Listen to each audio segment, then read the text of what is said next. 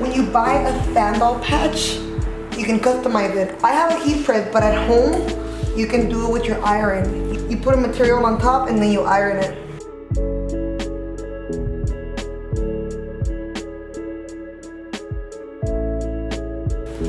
And then I bought this at a store. I just went and bought something really cute that I thought was cute, and then I added the patches. So now let's do this other outfit that I bought. I'm gonna be doing this custom.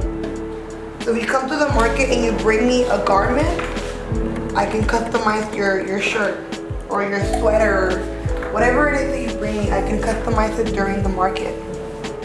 I'm gonna be at the Santa Ana studio every single week now, Monday through Friday.